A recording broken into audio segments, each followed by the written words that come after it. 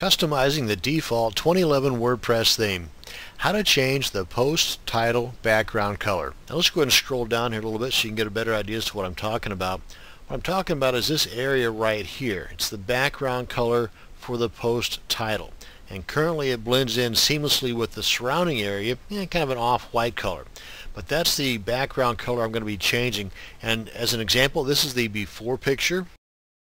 And this is an after picture where I've changed this color to kind of a beige color, specifically wheat. So let's go ahead and take a look at the code we're going to use to do that with.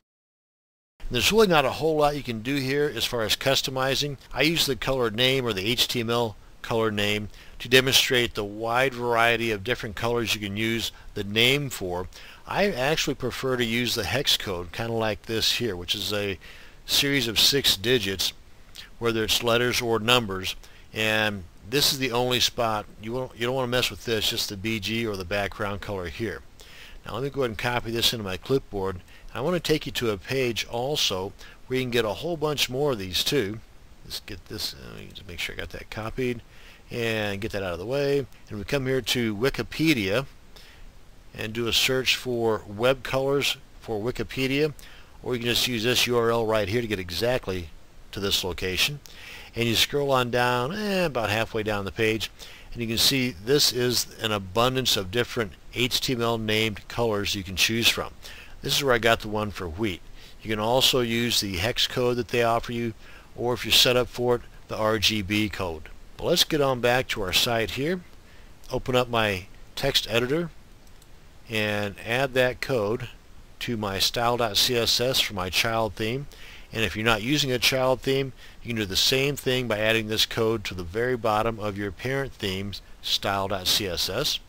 Let's go and save that, open up my FTP client, upload and overwrite the existing style.css. And yes, you can do the same exact thing inside the WordPress site's dashboard under the Appearance subpanel under the editor.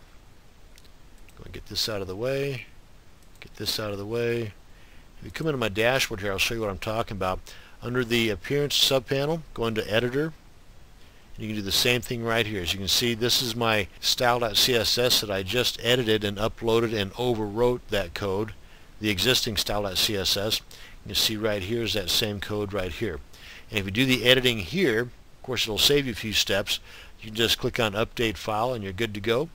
Come on back here and let's refresh and there you go. Now you can change this background color to anything you want. You just want to make sure that it adds to and not takes away from the appearance to your site. You don't want it to blend too closely to either the hover color or the default color of your title text because it, you know you just want to take that into consideration when choosing your background color. And that's going to bring us to the end of this video on changing the background color of your post title.